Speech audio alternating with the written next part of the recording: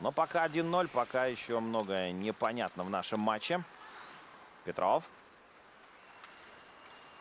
Алексей Петров налево играет. Там Старков. И опять по борту. Заброс шайбы в чужую зону. Там до Выглазова шайба не доходит.